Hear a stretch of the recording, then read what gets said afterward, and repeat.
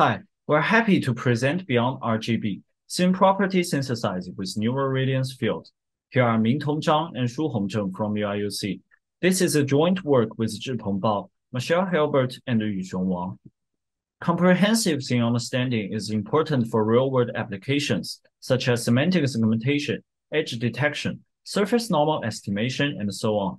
A general method is to develop data-driven discriminative models for scene understanding. We propose a novel perspective to learn expressive 3D representation by synthesizing various scene properties.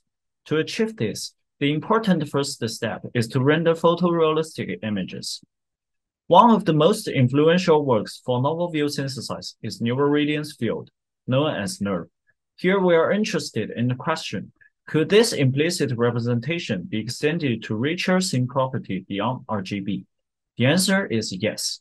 We develop a NeRF-style model that is able to render photorealistic images along with various accurate scene properties.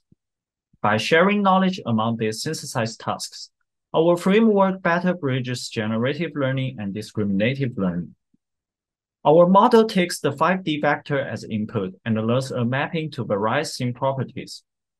We adopt a shared positional encoding network to build future embeddings for the 3D spatial locations. The encoder shares knowledge through the implicit representation across different properties. Since some properties are not sensitive to the view directions, we adopt two types of decoding networks. The view-dependent branch takes the additional 2D view input together with the encoded 3D locations to synthesize scene properties, while the view-independent branch predicts the scene properties with encoded 3D locations only.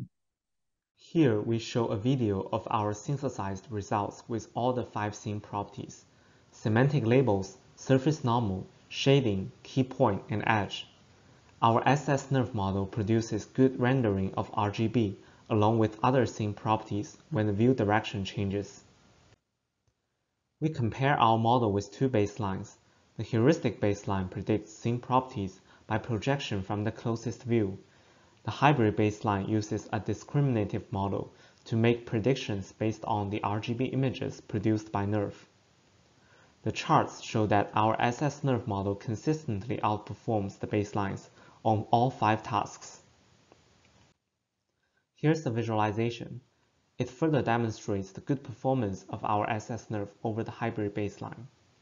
We observe that our SS-NeRF, which jointly predicts RGB images and associated scene properties, can benefit from the shared representation which encodes 3D geometry information.